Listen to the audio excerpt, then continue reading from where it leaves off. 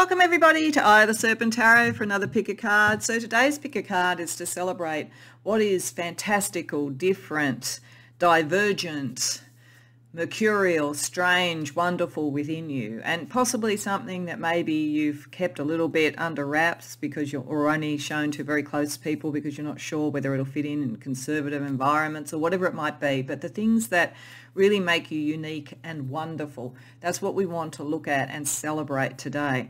And the inspiration for this came from a very specific thing. And, and I want to talk just briefly about this at the beginning because it's particularly if you see this video at the time that it is published, what I'm going to talk about is very relevant if you're interested in the Kickstarter campaign I'm going to talk about. So there's a Kickstarter campaign at the time that I that I published this live on Kickstarter. The details are in the description box below for the companion oracle deck for the cute and creepy tarot. So anybody who is is familiar with my channel, I think, will have seen the cute and creepy tarot more than once. It's one of my favorite tarots. I think it has the most amazing artwork. And the oracle deck, which is the companion for this, uses very similar artwork and similar sort of themes and so forth. And it's done by a wonderful tattoo artist called Misha Nagelvort. I'm not sure if I'm pronouncing that correctly. Misha, if you see there's uh, apologies if I didn't pronounce your name correctly. But she, as I say, created the Cute and Creepy Tarot and now she has an Oracle deck that is currently funding on Kickstarter at the time that I am filming this, it's doing well, going towards its goal, and I'm very optimistic. As a fan of her work, I'm very much hoping that it does get funded. But I wanted to do my little bit, you know, to basically publicise it. I have no affiliation with Misha or with her campaign. There's sort of nothing like that. It's just I'm a genuine fan of her work. I love the cute and creepy tarot. I really want the companion oracle deck. So I thought, why not do a reading coming off, in a sense, the principles of design that she used for this as a way of celebrating the, the Kickstarter and letting people know about it. And because I do know that some people who come to my my channel do like the decks and do sometimes go and get them themselves and so forth. So I just wanted to let you know if you didn't know that it was happening. And if you're seeing this sometime later, the, the connections to her her website and also to the Kickstarter, often on Kickstarters even after they're closed, there'll be details about how to get decks after the campaign. So hopefully that will be helpful for anybody who, like me, is a fan of this art. But the reason that this particular topic came from it is because of the, the kind of, what I understand is part of Misha's uh, inspiration herself in the original Cute and Creepy Tarot, which as I understand it, had to do with reclaiming for the sort of various mythical creatures, sometimes monsters, sometimes creatures out of horror stories, as well as sort of mythical ghost stories and all sorts of things. That's sort of their, their place in the sun, so to speak. You know, looking at what they were from a more positive sort of aspect and so forth. And I just thought, what a wonderful idea. And yeah, because I think we all have parts of ourselves that we're not sure it fits in. And, and so I thought if I use her deck, then that becomes a really good sort of way of depicting exactly the energy. And the energy of this reading is going to be fun and it's going to be fantastical. So there'll be, we'll talk a bit about where it hits your 3D world, you know, where it's relevant, but I'm really just trying to celebrate what is different, unique, beautiful, fantastical within you. And so to give you an idea of what she did in her design and therefore how the, the pile choice is here and, and the sort of spirit of what I'm looking at uncovering for you in this reading, and I'll just put down the numbers as I always do, is that each character within that whole deck is some sort of mythical character, fantastical character. And as I say, she's sort of like revolutionizing the view of it and, and aligning it with the tarot. So these cards will be in part of the beginning of the reading and then I'll be using the whole deck. So I'll be shuffling these cards into the deck for the first reading and then finding them again as we go through each reading so that all the cards are available for the reading itself. But it also will be part of what what I think the reading will say, though there will be other cards to work out what this unique, wonderful energy you have is. So to give you an idea of what she did with this, because I think it's really interesting. So for the High Priestess, she chose a Japanese ghost. So if you look at the card carefully, you'll see that the head and the head is sort of detached from the body in this particular Japanese ghost, which is called Nukubi. Nukakubi. I'm not sure if I'm pronouncing that correctly. And so she chose her because that detachment of the head from the body represented to her the high priestess's ability to cross between the worlds of the known and the unknown. So something that might have been seen as a bit scary is then sort of reframed as, as a very special talent. So if you think some of your fantastical energy is around moving between the worlds, that may be something that draws you to this. Of course, choose however you want. If you usually just go for a number or you just meditate in, that's fine. But I just thought it was worth showing you the, the, the design concepts here because it, it may, it will be part of what I look at when I'm looking at each of these. For the second uh, pile, we have the moon, which is obviously a werewolf. So that's the sort of concept she says about the sort of need to look at both the conscious and unconscious and deal with the animal nature, like get all of those things into balance and know how to control those, but also be able to access the wild within. For pile number three, we have the Four of Wands there. That's, that's representing Kitsune, which is a Japanese sort of fox god. So one that that you know is well known sort of as a trickster and a support and and you know kind of a, a creature that leads you into the mysteries and so forth. And quite a fortunate and lucky creature by and large as well too. And she's depicting it as part of the mythology where he married his divine counterpart I guess. So there's that sort of energy about not humanizing but showing that sort of connection for that sort of a creature and then almost my favourite of the four that I chose is the Six of Cups version she has here, which is the Loch Ness Monster. And what I love about that is that she's showing how she loved that that sort of mythology when she was young and she has this vision of the Loch Ness Monster getting a tea party ready for children, you know, for the, the kids in the neighbourhood, picking up the Six of uh, Cups sort of concept of childhood and innocence and so forth. So instead of being this sort of strange, scary amphibian, amphibian sort of creature, Loch Ness, or Nessie as she's often called, is, is doing a tea party. So I just love the energy of this deck. It's just so different and, and so in keeping with what we're talking about here. So yes, anything around sort of mercurial trickster energy, anything around nostalgia, you know, and, and community there, anything around the wild, anything around going between the worlds may be something that helps you choose and that'll be part of the energy that I think is in the reading, but there'll be more than that. So you don't have to be taken just by that. But when you know what reading or readings, and by all means go to more than one if you would like, when you know what reading or readings you want to go to, as always, the timestamps are in the description box below, and I'll see you there. Welcome pile one to your reading. So I suppose I should have expected straight off the bat if you have come for the High Priestess or been drawn to the deck anyway or the reading anyway with the High Priestess that we're going to have something that's pretty profound on a spiritual level. So in terms of sort of general archetypes, we've got things connecting to your past lives, to your kind of inner goddess and that also connects to in the Fae Volva which is about prophecy guidance and a real sense of true self and not giving up self except for when it is with the right people and finding the soul kin, finding the right people. Very strong emotional sort of connection to everything, but but a capacity probably here with clairaudience to hear clearly, to understand, to be able to read between the lines. Maybe a great facility with languages actually, or symbolic language if you aren't literally a linguist, you may be sort of someone who is very good with symbolic information, synchronicities and so forth, and a sense of being able to see and tend for and take the future forward, but do it with a very strong sense of emotional connection. So with the High Priestess herself, obviously, as you know, she, or as I'm sure you would know if you're coming to tarot reading, she is she is the connection, the intuitive connection. She she downloads information from spirit, all of that sort of thing. There is very much within this, as I say, a kind of divine feminine and and it's interesting, Volva is is able to have relationships, is able to connect, but will only do it with the right people, only with those I think that are at your level. And very likely soul twins, soul connections, divine counterparts, that sort of energy with the soul kin also turning up.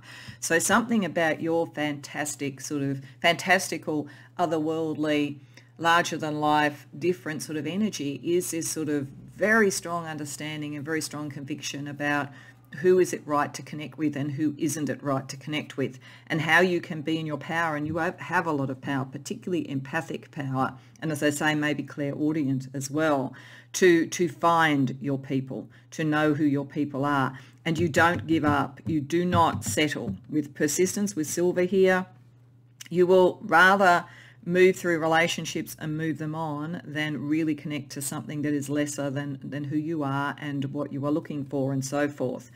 But you know you don't rush into things. Now, this may well be that you have before to try and fit in, to, to try and find a love or whatever, and you've become very clear on the idea that you can't do that, that that's not going to satisfy you, that you are too much of a inner goddess and you don't have, it's not, this is not about gender, but too much of that sort of energy to just settle and you're able to see and hear and and get towards the future you actually have a really good understanding of consequential thinking on a kind of 3d level with a sort of prophetic ability of a high priestess you really do know what's coming at least for yourself and for those that you're close to, maybe on a broader level as well too.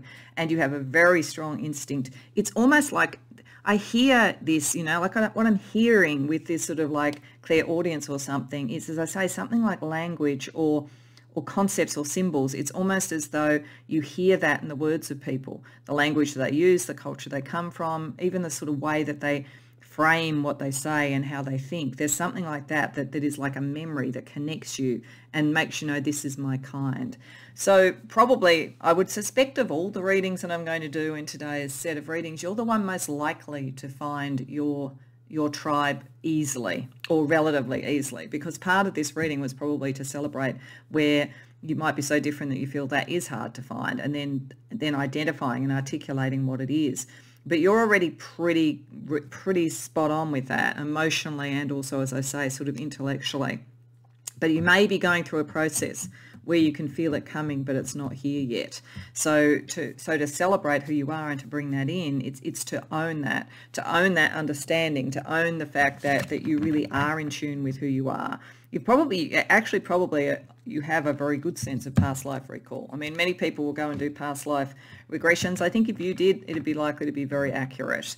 So, you know, others, I think, you know, it's hard to know. Is it is it what we sort of seen on TV or read or whatever, or is it is it accurate? You know, and I and I don't mean that to put anybody down. I just think it can be difficult to know. But I think for you, you're very spot on about this. And I suspect you may have known and had senses of things even when you were very young, long before you could have been influenced by sort of something that you would read or TV or anything like that. So, and in meditation and things like that, you would get to the depths of that as well. It's a very strongly emotional thing. You hear it and then you respond on an emotional level and it's like a really finely tuned radar. So you really are an intuitive, an empath, a probably you know, a sort of precognitive person as well too. And you are meant to meet these people.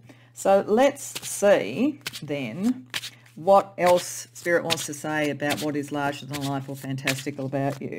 And then we're going to look at how you can best honour that and then maybe what part of it you're not seeing. So firstly, a little bit more detail on the fantastical and imaginative and wonderful and different and divergent pile one, please, Spirit.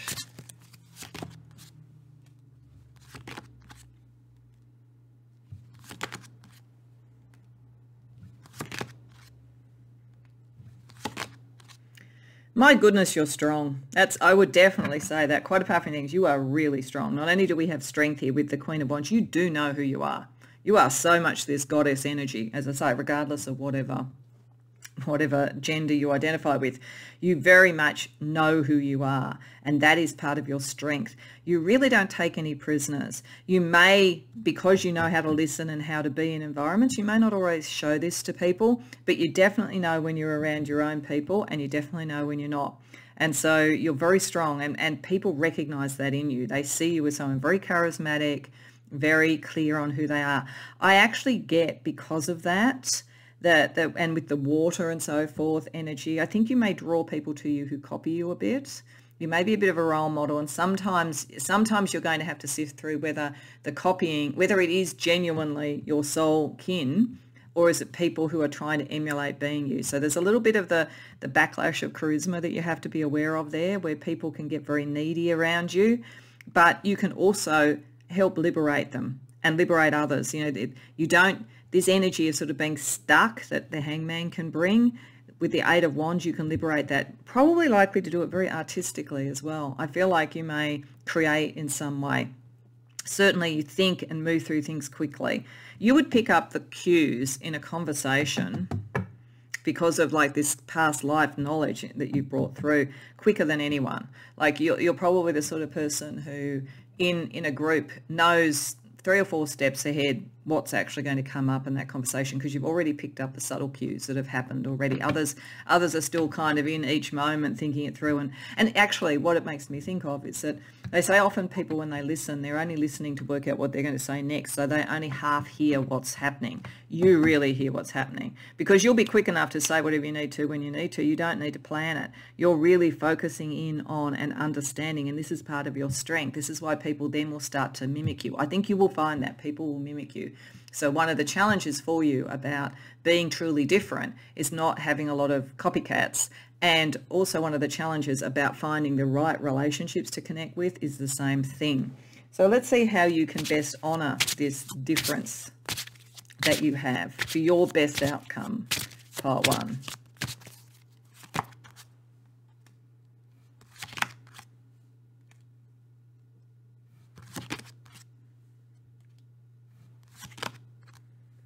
Wow.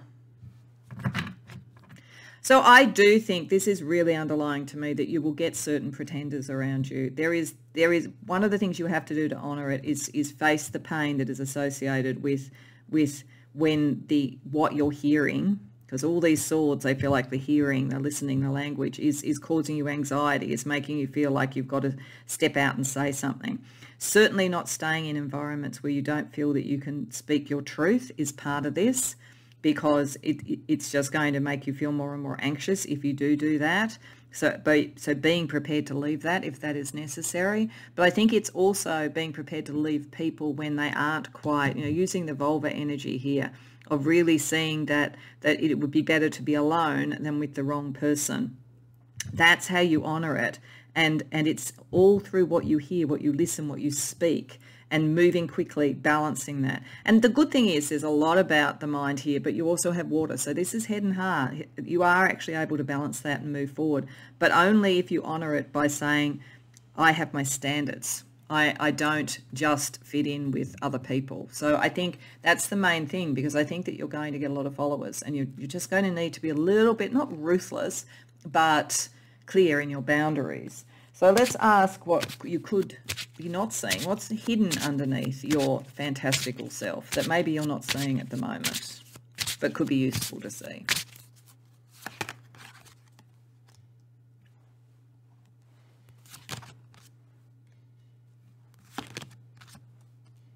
Okay.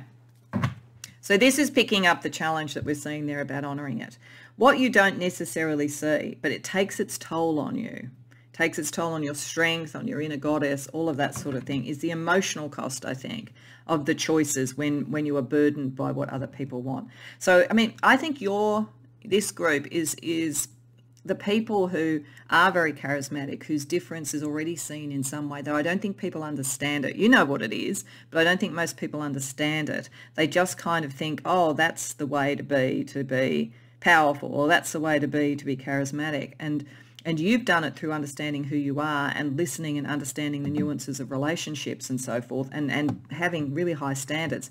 But I think that, that I think you draw these people to you and I think you genuinely feel it within because you're quite empathic if you're having to put boundaries around if they aren't the right people. Over here, Volva knows that she should not be with the wrong people, but I think that you have a very sympathetic side to you. And so I think this is actually showing that you may not fully know the toll that it takes on you to be kind of the the almost the fill-in mother for people in a way. And it's not saying that people see you as mother per se, but I feel as though they see you as an icon. And so they draw on you in that way. And it's very, very hard to deal with that and make the decisions about about where the connections are right. So I think this is why we had the, the thing really attuning to watch and listen carefully. That's what you do naturally, but it's saying you've got to ramp it up one more level. And you've got to do it in such a way that you work out where where are those sort of like intellectual differences? Where is it not going to fit? Because you can't be the the muse and the icon to everybody. You have this very, very powerful energy. It's very wonderful, but it is meant to be doing something in the world with your people. So so I think it's hard for you. You just take on this burden of like looking after everybody else and being the sort of the the the mature one in the room and that kind of thing. So that's that's what spirit wants you to think about with your your fantastical energy.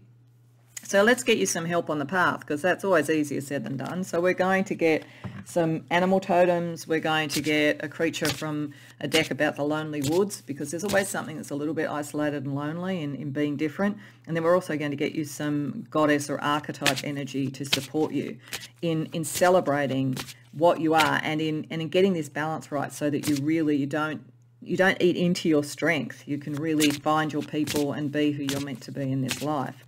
So a couple of divine animals for you. The owl, wisdom. Yeah, because you do have wisdom. So the owl is around you, and the owl is a very strong, I think, sign and, and animal totem for the high priestess anyway. It makes a lot of sense. And Minerva may be a goddess energy that you really relate to as well. But I think that it is about wisdom. It is about making the wise choices. So I think owl will help you with that. And armadillo groundedness. Now, isn't that interesting? Because the way that the high priestess is depicted in this, as I said in the introduction, is with her head separated from her, her body.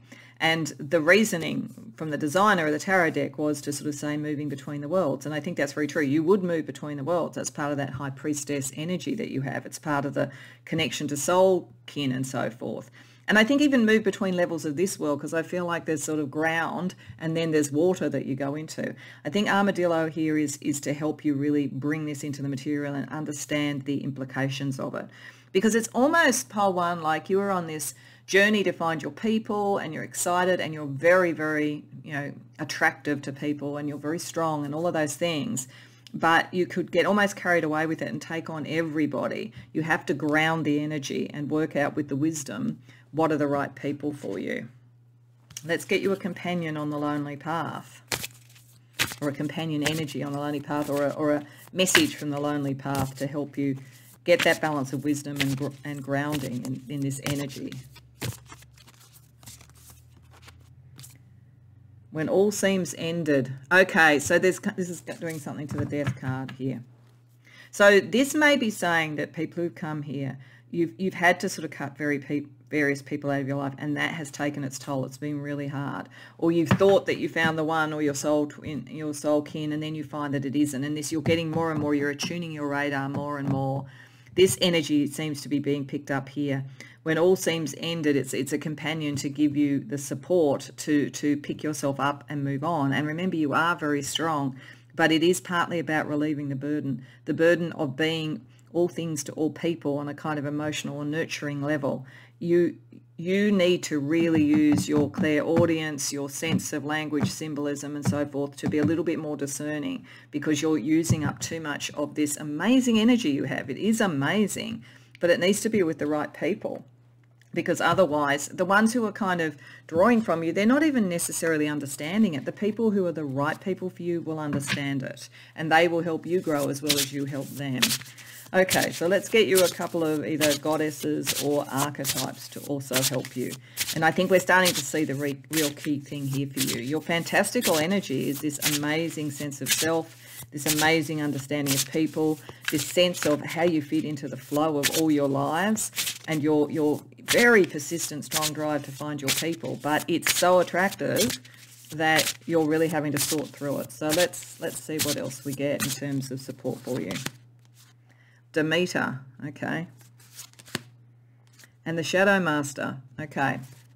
So Demeter, interestingly, is the mother of Persephone and people often also attribute the high priestess to Persephone. You often see in certain decks that she has a pomegranate, which is what she ate in the underworld, which meant she had to keep going back. There is a maternal energy around you. It's either Demeter literally as a spiritual thing, or it could be a, you know, a very strong nurturing figure in your life. And they can actually take up some of the slack here. So it's it's either put it to Demeter, say I can't be the empress for everybody, because the empress card in many ways is Demeter. So, but it's reversed here, remember. So this is what you're not seeing. You're, you're losing the energy that's being drained out of you there. But she's a very strong goddess for you and I think a support for you. So draw on her energy and or there may be literally someone who is personifying that in your life and that's part of your soul kin if that's the case and don't be afraid to to go for counsel on that level or to pass some of the burden on. The Shadow Master says that, that you are going to the depths sometimes. You are doing the Persephone sort of journey and you are more than capable of doing that and finding your way out. So I think it, they're both here to sort of say, if you think about it, they both say the same thing in a way. Demeter called Persephone back. She did the bargain with Hades and that's why we have spring and summer. So, and the Shadow Master can go through the labyrinth and find the way out. So for any of you who are feeling a bit overwhelmed by who you are and trying to find your people and trying to not be cruel, trying to be supportive, but not be depleted in too much of a way, these, these energies will help you with that, pile one. So let's have a look then at your spiritual magic. As I said, this is meant to be fantastical and you've got a lot of spiritual magic. So we're just going to use three different decks just to get a little bit more information on your spiritual magic in relation to what makes you fantastical and different. So, alliance, important partnerships, agreements or unexpected connections bring fortunate opportunities. I think there's a couple of things there. I think it is, I think for some of you, as I say, there's a Demeter figure. There's a, a an Empress figure. There's a nurturing figure. I think for others with past life, soul kin and Volva looking for the right person, there may be a divine counterpart coming in. So that may be something that you are drawing in. And it's another reason why it's important to be listening for the right signs and not giving too much to everybody else because you need to find that connection. Then we also have Heart magic, yeah, create your world from your heart. It's your magic wand in the universe. So there's something about love. There's something about finding the right partner, probably someone with, with past life connections. But that's what Volva is looking for. That's where it becomes reasonable to share the energy and be in a partnership. So there's definitely something about that for you in this life. Then looking at some other magical energy from two other decks. So firstly, from one Guardian. Ah, yeah, and that's falling with Demeter. So I definitely think for many of you, Demeter is around you. Pay attention to that. And maybe Minerva, I feel. And Euphoria, honor yourself. Yeah, honor yourself. And this is the whole message of this reading, which is about honoring what's amazing. But I think that, that what is amazing in you instead of isolating you from people, it's drawn people to you and not always the ones that are going to be reciprocating in energy. Not necessarily people who mean harm, but people who just drain your energy. So that's why you need the guardian, you need the support, you need to have that source of nurturing because you're doing consciously or unconsciously a lot of that for other people. So to finish off, let's just get some astrology or numerology energy about what makes you fantastical. And then we're going to use the Enchanted Blossoms deck, which has dragon butterflies. And there's not much more that could be more magical and fantastical than that to give you a final sort of message to sum up the reading. So firstly, just some astrology or numerology energy for you, pile one. Gemini there's the mind there's the communication skill. That's that's the way that's how you're going to find this out. And don't be worried about you know having to wear masks if you need to to find the right people. Uranus yeah change energy bringing in the new and again something quite brilliant something quite different. And stellium so we'll have to look at what the planets are for that. So this is a three or more planets we'll do three for this that are in the same house close together same sign across houses, that sort of thing. But I think it's most astrologers would say it needs to be in the same house. So we'll just look at that. It's about the combination of energies. So I'm just going to get three planets to see what they are for you as well. But definitely highly original and extremely good communicator.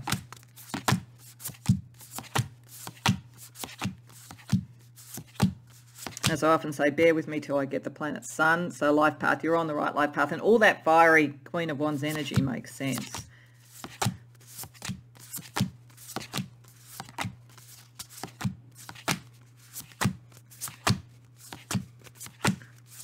So it can sometimes take a little bit of time to get planets.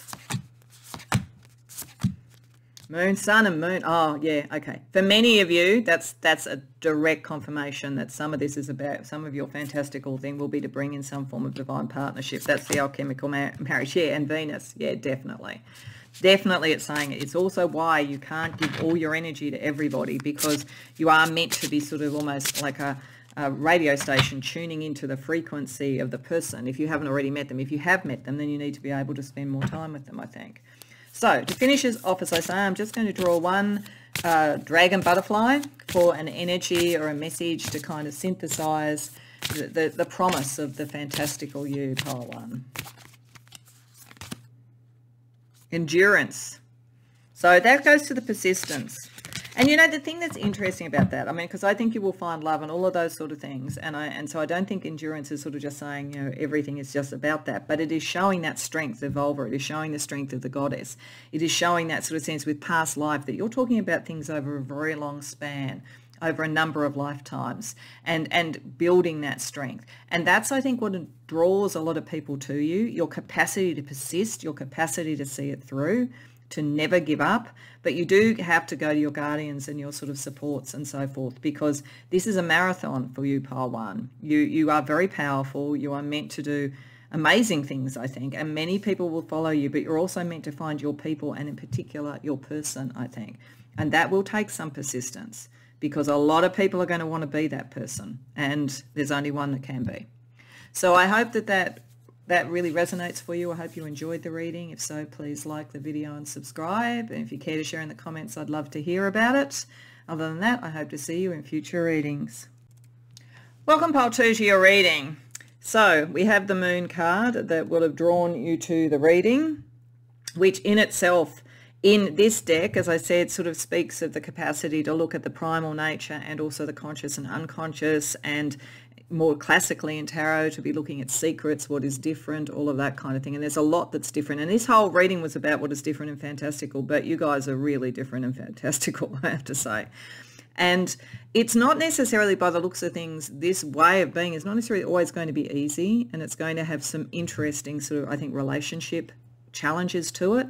But on another level, you guys are here for a reason I've been thinking over and over, I have to say, with readings that I've been doing for the collective, and this really gives me the same feeling that we are heading into something very, very different in the next 10 years. And there are people who've been incarnated to be part of that. And I think the people who've come to this reading are part of that. And in a very particular way, or in actually almost two particular ways. Firstly, when we look at the two cards from the Kitsune Oracle, we've actually got sort of Inari, which is the goddess of, of who, who Kitsune serves, and we've also got a sort of helper and so forth, so within that, that broader sort of mythology.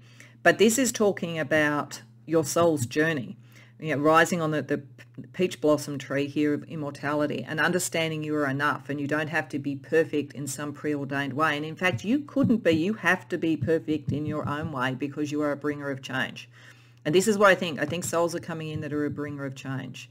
And it means probably that you will have been misunderstood. Like you'll have resonated to that part of the introduction, definitely. Because what you have is so new that in some ways it's a bit like trying to imagine a different colour. If you really try and imagine a colour that you haven't already seen, just try and do that at some point. You'll see what I mean. It's almost impossible to do there's something about your nature, but it is about your spiritual development. It is about what your soul is. And, and it's been developed over eons and lifetimes, definitely. But it's time to be reborn in this form that that has its its place on the world stage in whatever that means to you, in whatever this change is. With the Yule Singer, the Yule Singer comes for the rebirth of self, and I think you've been had many, many incarnations actually. Very old soul, but this is time to almost be reborn in who you really are. I feel like many of you have probably had lifetimes where you had to hide who you were. So spiritual gifts and so forth, where it might have, you know, in the Spanish Inquisition or something and there's quite a bit of healing as a result you are meant to be doing in this life with, with Jura here. This is about nurturing and nourishing yourself and with the violet colour to create a balanced life. That's going to be necessary. Part of it is to rejoice and lighten up. You've been through a lot. But I think the thing that's the challenge is that you also have some really significant relationship things that you'll be dealing with in this life. it is possible that in this life or in others you've been in some form of star-crossed relationship. Maybe where being who you were and being with the right person was not possible and you're healing from that. Or it may be that you have caregiving roles at the moment and then there's sort of an, another person around you and it's star-crossed and you feel like you can't have that you certainly draw attention to you, admirers to you, and you genuinely admire other people. You're one of those sort of very different people who likes what's different in other people because you're unconventional. You like you like people, but people don't always understand you. And I think that it's had impacts on your love life.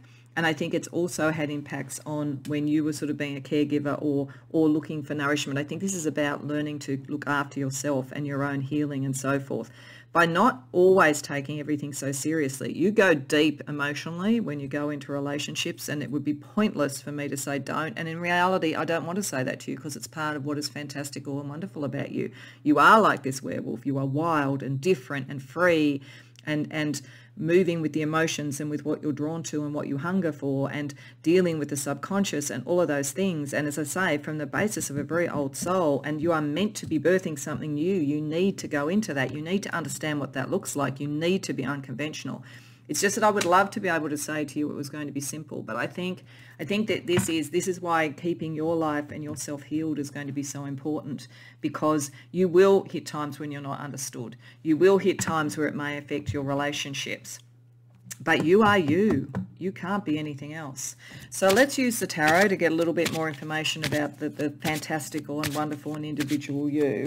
Then we're going to have a bit of a look at how best to honour that and also what you may not see. But first of all, just a little bit more information on this blueprint, which I think is, is very vital, but, but, you know, not necessarily easy, I'm sorry to say.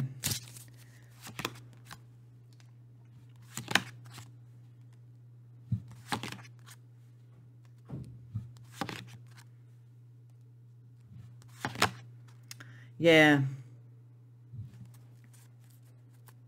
This is showing, it, it is showing that part of what you're doing, because it's so different, it will, it will go through its sort of intellectual battles. But you definitely have the power to be able to do it and the energy to do it. You can't get that degree of sort of sword energy, particularly the Queen and the Knight, without having the intellect to be able to deal with this. So part of it is it, you, but it's you seeing, this is what I feel like, it's, the swords here I feel are like, and it's all the agitation that comes with it, the new, the completely different way of looking at things, the end of a lot of other sort of like difficulties and, and energy depletion and so forth. In a world with Seven of Swords where things aren't necessarily what they seem, being able to navigate that thing and and using this sort of quicksilver difference but it's like at the moment you haven't really worked out how to do that yet that's why the queen of swords and the knight of swords are reversed you're being a little bit more conservative and conventional hiding that a bit and being really self-critical. So it's important not to do that, to turn the criticism onto what it is that you're trying to change. Look at it differently. It's like you're sort of someone who at some point you'll have this aha moment. It's almost, as I say, it's almost like seeing another color but it's it's you know I think you will articulate it. I think with all those swords, it's sort of like the way that you will say something. You know, maybe you'll write, maybe you'll you'll have a YouTube channel. It's something like that. You haven't yet fully understood what that is or made that decision. And I think part of it is that you get a bit distracted on relationship energies. But I think once you work out what this new thing is, you can bring in the right admirer, the one who's going to understand you, as opposed to maybe energies where their old paradigm and your new paradigm but what is fantastic on you is not yet fully born, Palto. And I'm not saying that to, to give you a hard time. I'm saying that it's saying here that there's something in the way that you look at the world and, and focusing in on that will help you really work out what this change is that you're bringing in.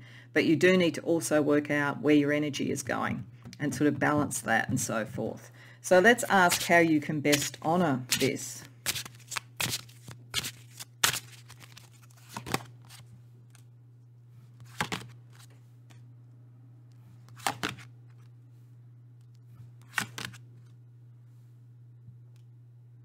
Again, it's swords energy. Swords energy really strongly here. You are meant to be, you're meant to sort of progress to the King of Swords here. You're meant to progress to sort of the person with the new philosophy, the new political regime, the new novel that, that shifts people's concepts of things, the new filmmaker, whatever it might be, things that are in that kind of electrical realm. That is, that is ultimately where you should be ultimately where you should be. So you've got to work out how issues around authority have boxed you in and issues around the conventional have boxed you in.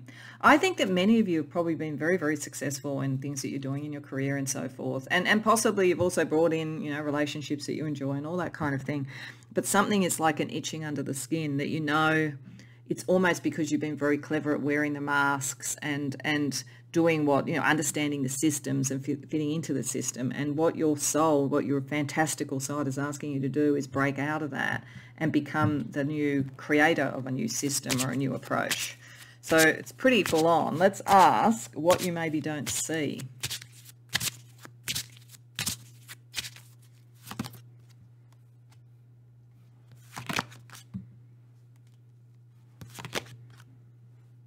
Okay, what it's saying is that you don't see that this has been with you since you were a child. You, you were different right from the outset. If you were with siblings, you were different to your siblings. If in the schoolyard, you were different to your schoolyard. The whole thing. And very, very creative very, and very optimistic. It's like something's happened in fitting in with the world and maybe relationships that's made you less optimistic. It's like your, your innate childhood optimism and cleverness you've sort of suppressed a bit, I think, to fit in or around relationships and so forth. But this is, you know, this is what the, why this is saying you don't have to be perfect. You just have to be you. It's it's almost as though somewhere in your childhood you you came in with this sort of innocence and happiness and optimism and all this cleverness, and maybe it was suppressed. So whether it was by your family, whether it was by sibling rivalry, whether it was by school and work and all the things that do that. So your your fantastical self and spirit is asking you to remember that sort of innocent joy and and precocity that you had even when you were young. I mean, and precocity when you're young can be many things. You may say, oh, but you know, I wasn't that good at school. And the thing around school, I mean, you can be very precocious at school and that can be a sign of certain types of learning and certain types of intelligence, just like an IQ test can show certain types of often culturally determined intelligence. But sometimes the people who don't do well at school are brilliant, you know, the neurodiverse and so forth. So you might be in that. I mean, someone who's neurodiverse is probably more likely to see the new colour before somebody who isn't, for instance. So it's it's just something like that. It's owning that and remembering that that's important for you.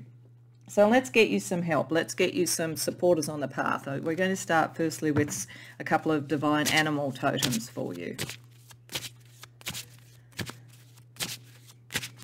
So we have Jackal, which is about truth.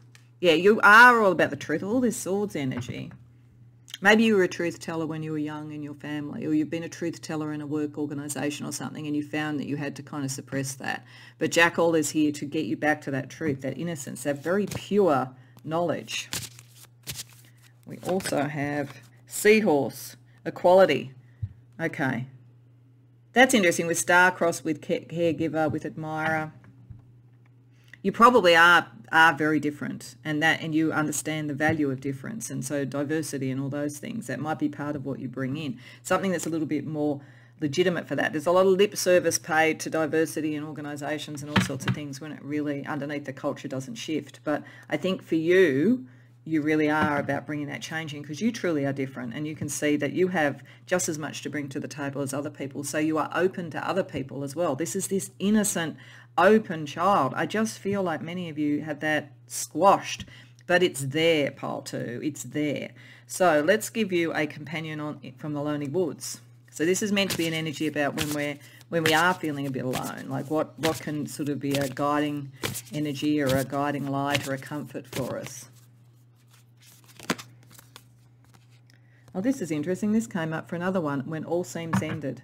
So I think that there will come a point, whether it's around a relationship, whether it's around something in your career, when just when you feel that you can't, you know, hold the mask anymore or or that nobody's going to understand or something like that, that's when this energy is going to come through. That's I think maybe when an admirer comes through who does get it, who comes through and says, "Yes, I understand what you're saying. I can see the new world." So, and if you think about it, probably all the great inventors, all the great new thinkers had that moment, that moment when, am I going completely mad? Is everything I'm saying completely wrong? And then I think when, when you're at that point, that's when the energy will come in. So let's get you some goddess or archetype energy as well to support you. Easter. Oh, lovely. and Hera. Wow. So Easter is, is all about the new, all about the beautiful and the colourful, going back to the kind of lighten up a bit. It's going to come through for you. You're going to get the support that you need. And certainly calling on that goddess could help you if you were wanting to really get back to this feeling, this feeling from childhood. Hera, interestingly, of course, was the uh, wife of Zeus. So a bit of a, a long-suffering, star-crossed lover in a way. This could be saying that you know you've sometimes had issues around accountability people's accountability for what they did in you know workplaces or in relationships and so forth. Here it can be called upon for the strength to deal with that and to be able to cut through that. So i think easter is an energy to bring in the new. Hera is an energy to level and leaven out the past when it hasn't been what it should have been. And to give you a sense that you are also able to take accountability and move forward in your own power around all of this pile two. So innocence and and wisdom kind of connected together as, as forces for you. So let's see how that manifests as your own personal magic.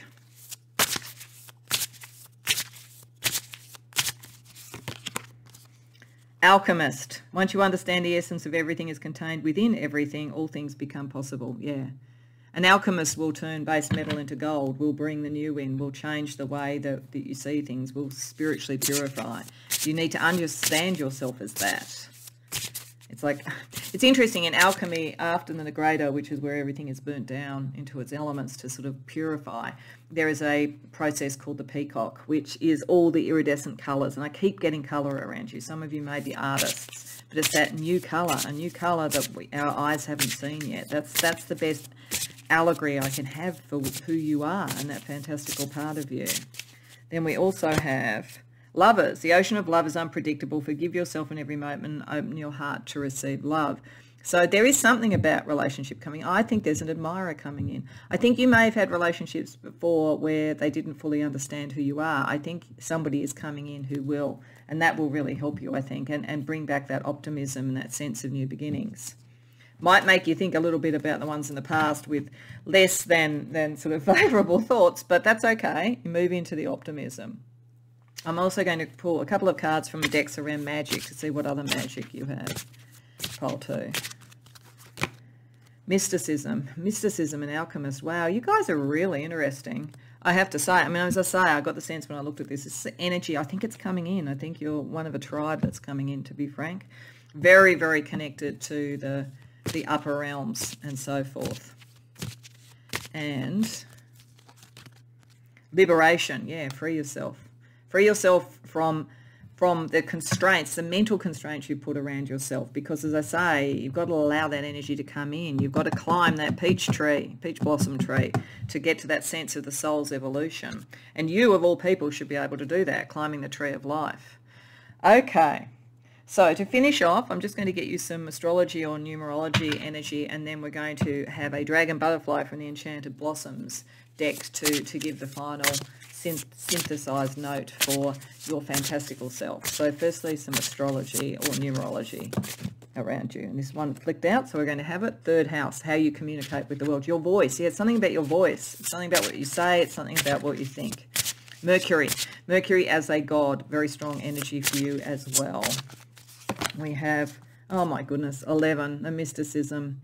Many of you, you know, like if you don't know about the Kabbalah, I'd suggest finding out about it because I think you're very connected to that. But that certainly is the sort of master uh, sort of spiritual number, connecting all of those things. It's also the number, I understand, of the god Janus, which is the god of doorways, moving through the new beginnings and endings. So that all lines up. And descendant relationship. There's a relationship that's going to be key to this. So if you aren't in that yet, one is coming in. It, it, it's going to be part of what really is part of the breakthrough. Okay, so let's just finish with a dragon butterfly to give an energy to synthesize this together around what is fantastical, wonderful, and unique about you, pile two. Truth. Oh, and we had the, uh, going back to, well, this is a very important, very important animal totem for you then, the jackal very strongly connected to Egyptology. You might want to look into that as well too. But truth, this you are bringing in something new. That's what the new is, you know, bringing in the truth, cutting through some of the sort of old paradigm that's got calcified and isn't isn't really working anymore to something that can be true and, and takes us to the next level. So you've got a mission, but I think you're going to have the right partner and I think you're really going to start to see it. You've just got to lighten up and get back to your sort of optimism pole too. So I hope that that resonates for you. I hope you enjoyed the reading. If so, please like the video and subscribe. If you care to share in the comments about it, I'd love to hear about it. Otherwise, I hope to see you in future readings. Welcome, Pile 3, to your reading. So with the Four of Wands Kitsune card, it's, it's you know, we are using Kitsune, uh, Kitsune Oracle as well too. We have that sort of sense of family and connection that goes with the Four of Wands anyway. And as I said in the introduction, a sense of relationship. And the thing that's interesting in this, pole 3, is what is fantastical about you is going to change to something else fantastical. a, lot of this is your capacity to transform. But but what I'm seeing here, and part of this is very mystical. You have a very mystical sort of spiritual sense, and you're able to see when you need to change and how to change.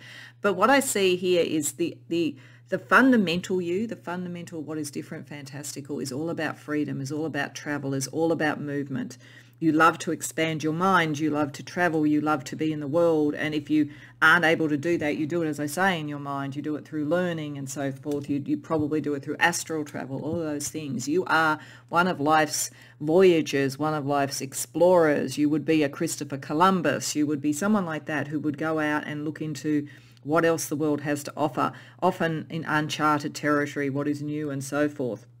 And as such, you're very philosophical, but very freedom oriented. You like to know that you can travel. You like to know that you can move. You like to know that things are unfettered because you are a dreamer. You have trances. You have visions. You can see what is coming in, but you're also seeing what's coming in for you now. And you do have the capacity to change. As a shapeshifter, you inherently have the capacity to change and fit into environments. And this is part of what's wonderful and fantastical about you. Wherever you might travel in the world, you could fit in with the culture. Whatever kind of people you were dealing with, you could fit in with and, and understand them and shapeshift in and out without it really touching your immortal, free, very independent soul. But the threshold that's coming for you is to move into a relationship. Because you you know transformation is coming and you know that really amazing energy you have along those lines. And the, the basic calling for freedom is about to move into a willing entanglement. So it's you can choose and because of this amazing energy you have to move and change, you could do it for a time or you could do it for a long time. You could do it for the rest of this life, but possibly the next life it's it's something else. So you, you can see it as a new voyage of discovery, but it is with another. It is where you are connecting to another and you are relinquishing some of this freedom because it is so innate to you and your visionary sort of capacity to travel is such that you can do it. And it's on a 3D level with having fun with your inner child and rejuvenating your body, getting into passion. It is about following the passion side of things in a different way. So pile three, if you're not in a relationship, I reckon you're going to be in one. If you are in one, it's moving to a different level where you are committing on some other level that maybe you've never really done before. Even, even if you have technically committed, it's almost as though there's a sense of settling into something, saying, yes, this is the one, at least, you know, maybe it's your soul twin, maybe it's your divine counterpart. Any of those things could be the case. But there's definitely a sense of finding the other, being with the other, and in a way understanding then that that is its own form of freedom. That you were free and very much a a lone wolf in a way, even if you've had relationships, you had that kind of almost one foot out the door always, not because you didn't care or love, but because it's in your nature. But you are you are moving into that. If you haven't already, you are moving into that. And you can sense it because you're psychic, because you can see what's coming and you can feel it on a bodily level. There might even be a sort of sense of I don't have the energy to go and travel again now. I actually just want to sort of like hang out with my friends because that's how you're going to meet the person. There's sort of something like that. Or having fun with your inner child. It might be going, I just want to kind of do fun things now and, and hang out with my friends and do fun things. And that's what brings it in. But it's it, you kind of psychically know it's coming in. That's part of what's fantastical about you. But, but it's your capacity to shapeshift and make a choice to be entangled as opposed to just kind of falling into it because your nature is so free. So let's get a little bit more detail about this fantastical side of you from the tarot.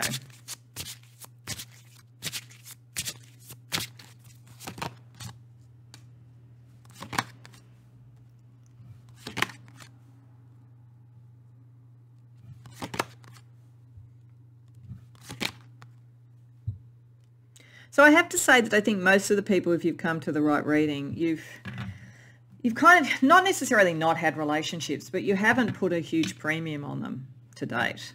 You know, like they were maybe sort of fun and, and a good time or whatever. But but you know, you weren't really sort of someone who was out to find the partner. You you were, you felt very much within yourself. You know, I you know, I, and I'm a, a, lone wolf, as I say. I travel, I move. You know, um, that kind of sense about it and so you and that is part of who you are you're not you're not romantic in the sense of i must give up everything for everybody because that's what you do in society and that's the romance story. If you willingly entangle it's because you know it's the right thing for you. You know that it's part of following your life path. You know it's following your north star. So you've kind of suppressed some of that side of things for looking at you know all the journeying and so forth and right from childhood with the six of cups there You've always wanted to. You might have been one of those kids that if your parents didn't watch them, you were off down the street really fast. Not because you were trying to be difficult, but because it's just this sort of sense of exploration and so forth. And so I think many people might even see you as someone who's largely alone and very much spiritual as opposed to sort of in passion and, and somebody who wants to explore and learn and, and so forth. But something's coming, definitely. And, and it will connect back to, to that sense of adventure. This is someone who, with the inner child, will have that same sense as you. I think they're, they're, they're partners in crime, not literally crime, but they're people who have a similar sort of thing. That's why you get entangled because you would both know how to give each other space and you would probably want to explore together. So, so this is sort of finding the right person and making the right decision. But the, the beauty, the fantastic thing about you, the unusual thing about you is that you are so much making that choice. So many people I know, when they're very romantic and they put a lot of store by that. When you talk to them about the people they meet, they always talk about all the signs that that person loves them. What they don't tend to talk about is what they love in the person as much because they're looking for the validation. You're not looking for the validation of someone else. If you're going to get entangled, you have to know that you want to get entangled. And it's finding that right partner, which is wonderful. It's a beautiful energy for the right relationship in the end, pile three. So let's ask how you best honor this, this sort of inner explorer who also will shapeshift and, and get entangled under the right circumstances. How do you best honour that energy and that difference?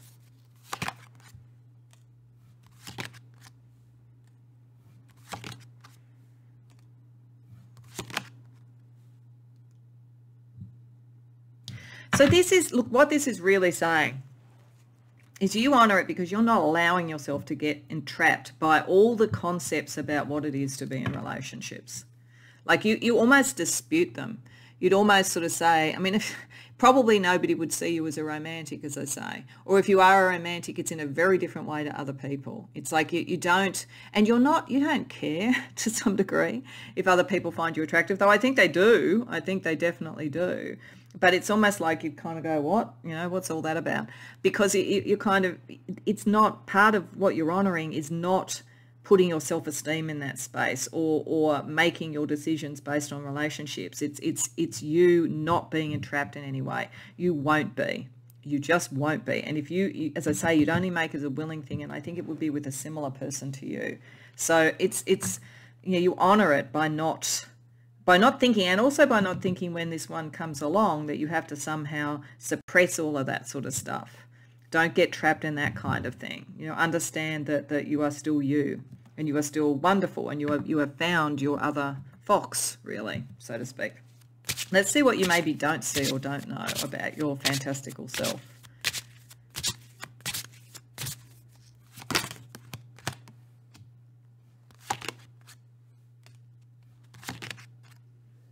Okay, oh, this is very specific.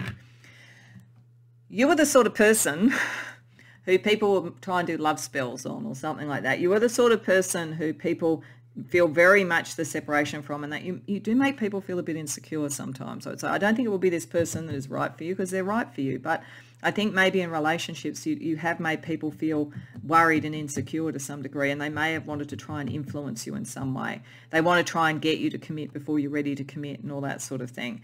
And, and that is coming from this sort of explorer energy that you give.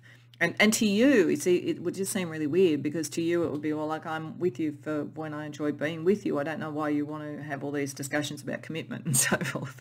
But a lot of people are a lot more, their, their pain around this is a lot more at the surface. For you, it's, it's the exploration and the new and the freedom is what you're about. And when you find this person, I think you'll find the person like you. So it's almost like you kind of skip that part in the relationship book. You know, it's like it, it, doesn't even compute with you. But because of that, people may try to manipulate you because they're worried, they're feeling insecure, they think that they could be in pain around you. So so just understanding that I think is helpful because it's not it's not going to matter with the right person, but it may matter with other people around you. And I don't think you're the sort of person who wants to hurt anybody, but I just don't think you think of it in those terms. You're kind of on the exploration and the dream they're they're a little bit more 3D oriented and wanting to you know have the relationship, the white picket fence, all of that kind of thing. Okay, so given the it's a little bit of a relationship energy to navigate, so that so that you can be yourself but not hurt anybody or mislead them in any way. Let's see what divine animals and other supports and companions can help you, pile three. So firstly, a couple of animal totems for you. We have hare, cycles, so this is probably saying that, you know, these things go through cycles and even even part of this, like your kind of exploration, maybe sometimes you kind of seem to settle down and people think that's fine and then you sort of get excited to do something else and you make them feel insecure. I don't think it's going to be with the person that's right for you, but I think it might be understanding those cycles of when you need to do the new and when you need to escape and how you need to defrag in a way, like what's going on with that. I think hare will help you with that. And Tiger, Will. Oh, yeah. Actually, I don't think Tiger's with you, but I don't think you need a lot of help from Tiger. I think you've got a really strong willpower. I think it's understanding. It's the gentle side of Tiger. Then it's it's understanding that that your will and your clarity is there, and it's always going to be there, and it's the right thing to follow. But understanding the impact on other people, I think. You're probably quite intense, you know, and people kind of enjoy the intensity when it's focused on them, and then you go off and you focus on someone else, and it freaks people out. Where's this person gone? So just just be aware of that. There's a very there's a very focused, strong energy that you have.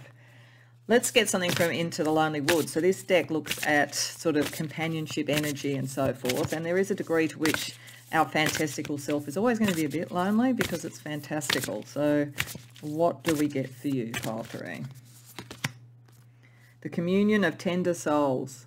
I think it's saying, look, you are going to find the person and there's going to be a great deal of tenderness between you and them. But I think it's also saying to you, be aware these people, the other people around you that aren't really the ones for you, they've got tenderness too. So just thinking about that, it's not, I don't think you're going to like, you know, build up a whole heap of bad karma or anything, but I think you wouldn't want to. You are actually quite a tender person underneath, but, but it's just that you're so focused on, on sort of the next step, the next sort of travel, the next adventure and so forth.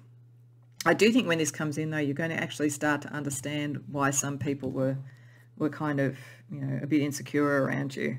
Not that I think you're going to be insecure around this person, but I think you'll start to have that real feeling of it, like what that feels like.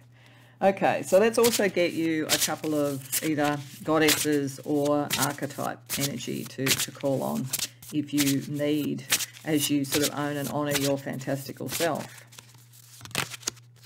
Carly, wow and Ixchel.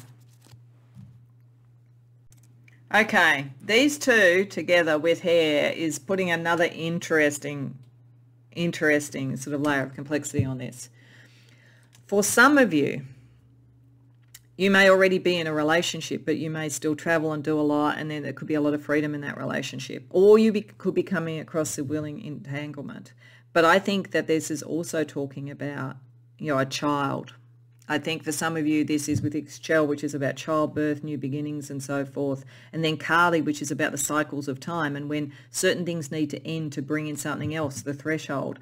This feels like for some of you, it might be specific, but I think it could be quite a few that have come to this reading. There is a threshold you're moving through where your freedom-loving nature is going to be tenderly reined in a bit by your own choice and willingly because the cycle is now to to nurture another. So that's interesting. That's now coming out. For some of you, it will be moving into a relationship and, and sort of like the new emotional sort of connections of a new birth, not a literal person. And this is the time for it.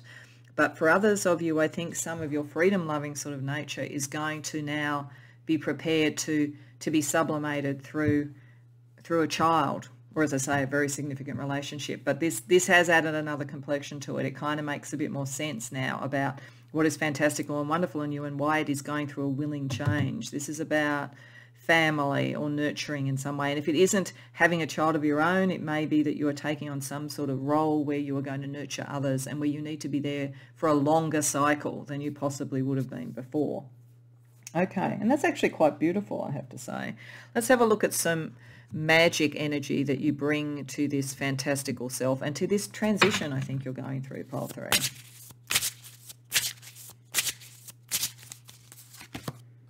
Wise speak. Your words are your vibration. Authentic communication opens the voice of clarity and wisdom. So this is how to deal with some of this sort of like swords energy. Being honest, being truthful, you know, saying your truth. And that, you know, when you are willing to make these commitments or make these transitions, make that clear because I do think there's something a little bit in you that is so energetic and so freedom and so much of that vibration that you could make people feel insecure even when they have no need to be. And we also have Rainbow energy and Ixchel with the rainbow. The colours of the universe live within you, radiate their brilliance. There's something about difference as well. It's a different relationship or a child, as I say, or a different, you know, how to nurture people to be freer in some way, to be true to who they are. Something in that space. You're going through this threshold. You're doing it willingly, but it is shifting part of your core nature. So let's have a look at what magic you can bring to it. So two different decks with magic energy. Detox, cleanse and restore yourself. And that kind of came up at the beginning. So I think that, you know, this is, this is really looking at, you know, what energy is going to be right for this shift, this change in what your focus is. And higher self yeah, you're getting in connection with that. And I think this is also your higher self saying, you know what, you may be sort of settling down in some way into a relationship, into parenthood, into some sort of job that's nurturing and longer term, all of that kind of thing. But you still have your higher self. You can still, with your mystical abilities, your sort of capacity with the Fae there, you can actually still travel on a kind of astral level. So you don't need to feel like you're giving up the keys to the the car, so to speak. There is still the capacity for travel, movement, freedom, all of those sort of things, regardless of this. Okay, so to finish off pile three, I'm just going to get you some astrology or numerology energy, and then we're going to ask a deck with dragon butterflies, because that's pretty fantastical, about what the sort of synthesizing energy is. So firstly, some astrology or numerology energy around your fantastical, unique self. Solar eclipse. Oh, that's interesting. First quarter. Venus. Yeah, okay. Because solar eclipse can be where you have to kind of put your own needs and your own sort of pathway to the side or, or let it be eclipsed by something else. I just think that this is there is a shift in your fantastical nature that you will willingly make. The first quarter moon allows you to start to manifest what those intentions are and see what it is. And Venus, it has to do with love. It's got to do with love. Love of another, love of a child, love of people that you're nurturing, love of a new new sort of thing that you, you know work thing that you're going to commit yourself to something like that. And that and that is what is allowing you to do this and picking up the shape shifting thing. You are more than capable it's part of what's wonderful in you you're more than capable of doing this. And you know that you can shape shift back after you've done this because things go in cycles. But you will do it and it's a beautiful thing. So let's see what the dragon butterflies have for a final message for you. Happiness yeah, beautiful. Because you deserve that, I think, because I think you are genuinely going to make a little bit of a sacrifice here on your normal nature for love of someone else or for a love of a group of people. It's, I actually feel a bit emotional now looking at this. I just sort of see this as, as paying it forward into the generations and, and knowing when the right time is to do that. And then later your spirit will be free again. It's, it's not that your intrinsic fantastical nature is changing. It's just that part of your capacity to change has this enormous generosity of spirit and that is what is going to now take you across the threshold to the willing entanglement. So I hope that that resonates for you, Pile 3. I hope you enjoyed the reading. If so, please like the video and subscribe. And if you care to share in the comments, I'd love to hear about it. Otherwise, I hope to see you in future readings. Welcome, Pile 4, to your reading. So we have Loch Ness Monster here as Nessie for the Six of Cups. So that is, is possibly what drew you to the reading and certainly would sort of pick up that sort of sense here of nostalgia. And nostalgia is part of this, but it's in a very particular way. Part of your fantastical nature is you have a suspicion of destiny and you're not wrong. So there's some destiny and it's connected to your past. It's likely to make you very well known with famous here, at least at some level in your community or organisation or whatever, but for many of you it may be much bigger than that. But part of part of you you you kind of can look back into the past understand the past with with incredible detail actually some of you may be historians or or kind of almost you know forensic detectives into the past cold cases and things like that but it's it's for you primarily about weaving your own destiny there is a destiny that is around you and you've been building to it through past lives and, and understanding the past lives that you connect to and the periods in history that you connect to because this card talks about that. It has a Victorian kitsune, a Victorian sort of era kitsune. It sort of say there's something around past traditions, past literature, past you know spiritual practices, whatever it is, that is connecting to your sense of destiny, what you're meant to do and which will give you the sense of rituals and honor offerings that are necessary to bring that into being. And you will find a guide. Now, whether or not that guide is a person, whether it's a spiritual guide, or whether it's something in the history books in some way that is a guide to you, the Golden Unicorn is saying you're not going to operate alone with this. Information will come to you. Some of it will come very psychically because of the Pisces energy, but some of it also comes from your own research. There's something about you you are able to research. You'd be one of those sort of people who could almost open a book and find what it was that you were looking for. There's a kind of a mix of psychic and, and intellectual acuity in you. And with the energies of the colors, we have allow flow and synchronicity into your life. Synchronicity is going to show you the patterns, the patterns that existed before that are relevant to your fate now and are relevant to what you will be known for. You will be able to see that and pick that up with a high degree of acuity. And we've got revitalize your nervous system. It is going to have a pretty big platform, I think, in some way. So you are part of what you're also meant to be guided and to, to have rituals for uh, for your own health and so forth. So there's something about you nostalgic in the past, understanding the past, creating your own future and going into a destiny going into something that you have been building for over past lives. So you have a purpose. One of the things that is fantastical about you compared to the average person is you, you truly do have a purpose. You're not sort of just kind of like working out, well, what are my sort of wounds from life now that I need to heal and what's my next sort of you know step on an ascension path. This is there is something deep rooted and, and I think that some of it has been shown up in your childhood as well. There's an interesting book I sometimes mention in readings, both private and also I think I've mentioned it in collective as well, by a man called James Hillman, who was a American sort of psychotherapist and philosopher. And it's called The Soul's Code. And it talks about how he shows all these case studies to show when you're a child, you often, your, your higher self knows what it wants to be.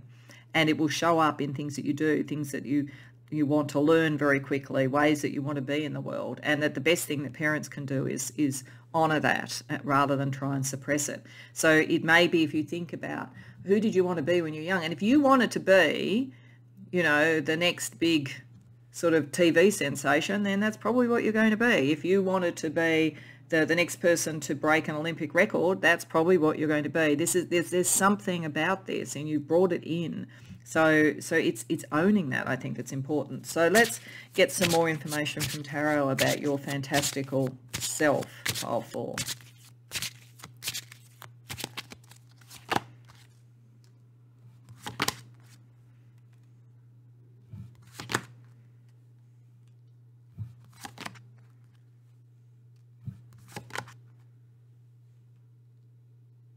Okay, so firstly, it's really interesting that I got like break an Olympic record or something. There's something about breaking through competition, the restraints of competition before, and, and what made it hard.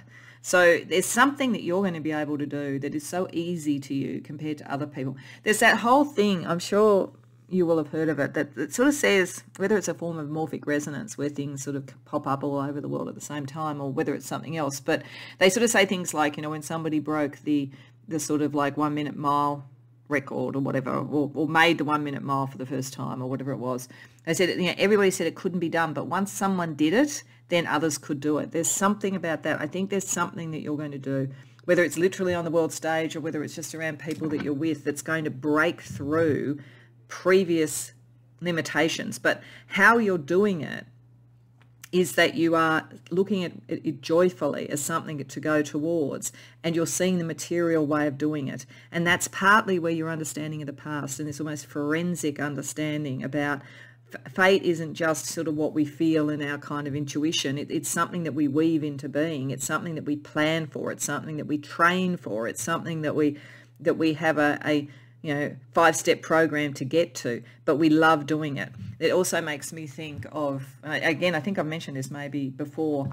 A particular movie I saw where there was a character talking to somebody who's very competitive at university and saying, you know, true winners, you know, like they don't they're not thinking about winning the race. They just love to run. So there's sort of something about that. There's something of that in you, I think, and it's and you will break through competition that wasn't wasn't valid and you will break through where there were burdens before and and release people's belief. You know people will believe a bit more in something.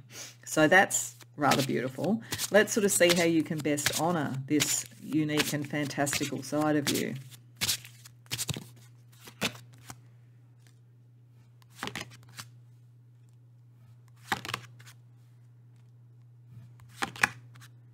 Oh my goodness, you guys, I tell you what. I got radical love here, transformational love. And that doesn't have to be, you know, a romance, though it could be. But it's I think it's the love you have for whatever this is. And you've been doing it for many lives. You're, you're like the consummate weaver. You've been weaving a beautiful, beautiful tapestry that will, will take something to this whole other level. You're, you're like the break, you know, crash through or crash, but you're not going to crash you know, you just it that bravery and that love and that certainty of the love and that, that you can you can you can do your destiny. You can bring it in. You are like this firebird or like a phoenix you know even even if things don't work the first time they're going to work in the end. You know honoring it is just owning that love for what you do that sense that the transformation is necessary and that you really are the master of your fortune. Like that belief people will follow you, people will understand, all of that kind of thing. But like what they won't know is the depth of intellect behind it. They won't know the depth of spiritual connection. They won't know how you did it, but it's something like something you do, then others will be able to do simply because you did it. Like it's pretty full on, powerful, pretty good. Let's see what you don't know, because you go deep. You know quite a lot about this, but what don't you know? What could be worth you knowing and seeing?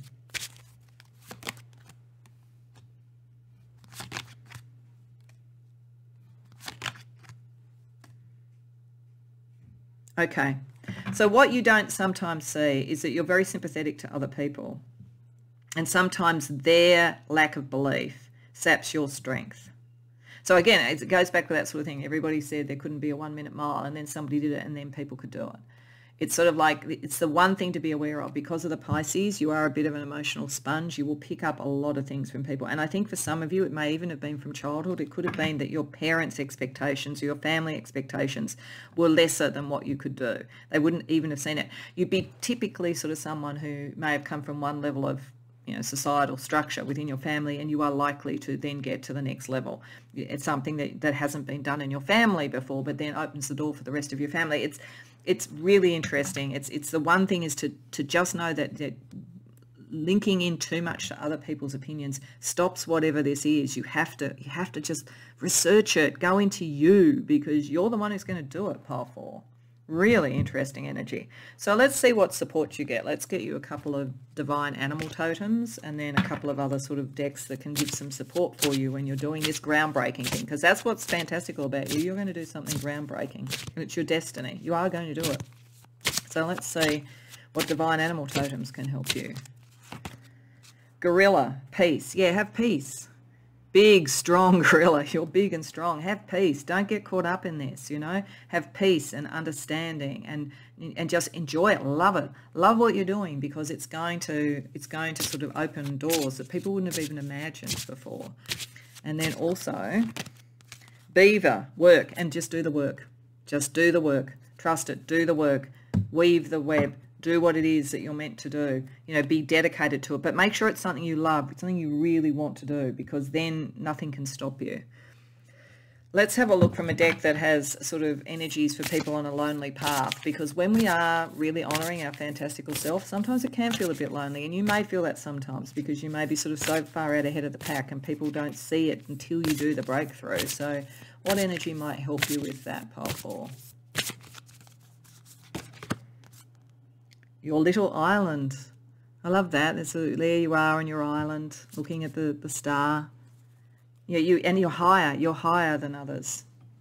Others won't see this yet, but there's a certain peace in that as well too. I feel like that's almost like the baby gorilla in a way, looking at the star, knowing, knowing you're following your star. There'd be something in your chart, I think. I wouldn't be surprised if Uranus was very strong, um, the Sun, maybe even Saturn actually, because of, of bringing something new into form, breaking through things. Maybe Uranus and, and, and Saturn are pretty, pretty strongly connected in your chart.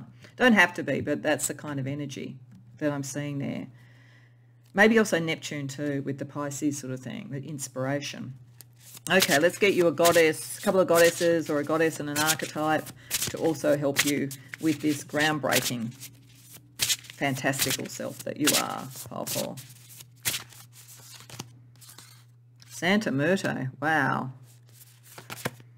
And Easter, lovely.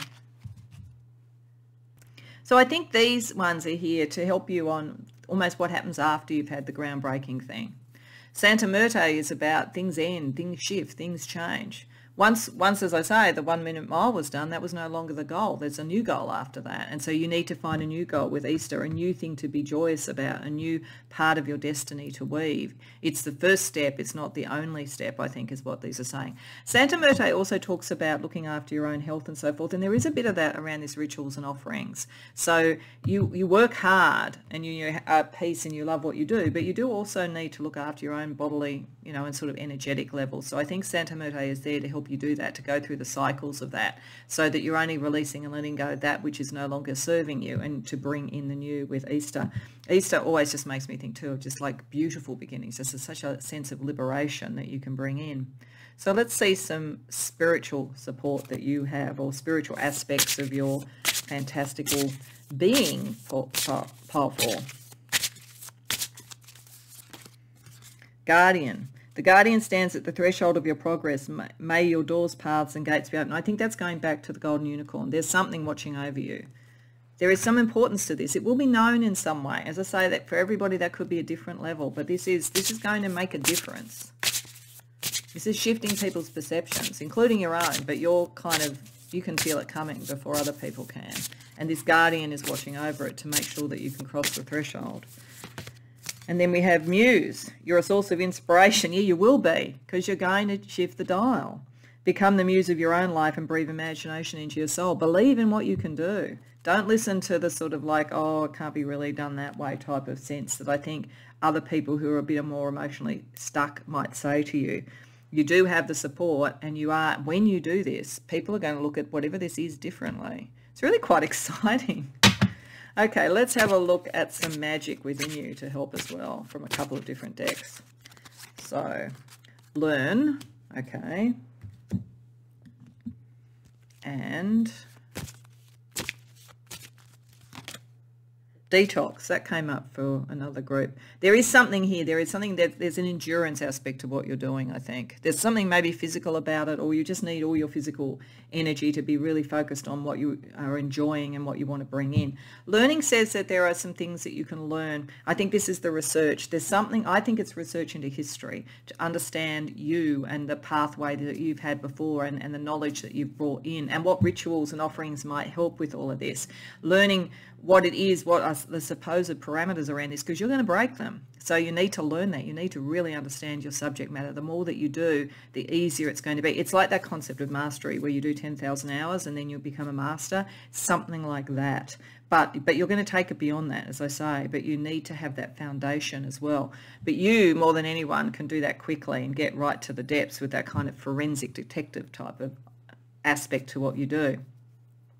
So let's finish up with some astrology and numerology and then I'm also using the Enchanted Blossoms deck as a final card because it's got dragon butterflies and I thought what's more beautiful and fantastical than a dragon butterfly? So seemed like the perfect deck to finish with. But let's just first of all just get some some either numerology or astrology energy around your fantastical self.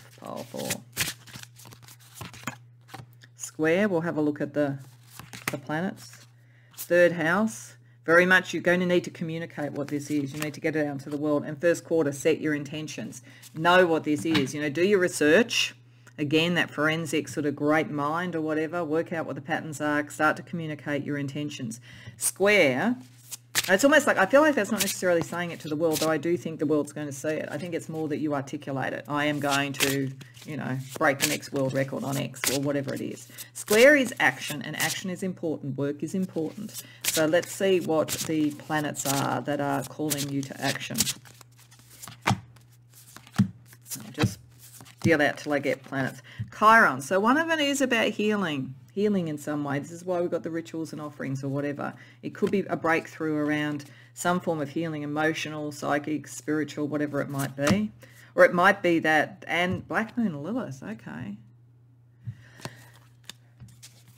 Actually, I think what this is, it's not telling us what the actual thing is, because I suppose it's going to be so different for everybody. I think what it's saying is this is about this ritual and offerings and about the detoxing and about what the guardian is helping you with, calling you to action to make sure that you heal within yourself so you don't become obsessed with other people's viewpoints and obsessed with the thing, that you keep this in balance, that you feel healed and balanced and at peace using gorilla's energy while you go through. Because I feel like you might might feel quite pressured around some of it. So I think this is just calling you to action to also look after your own self and your own energy levels. Okay, so to finish up, let's just get a dragon butterfly message for you. Compassion.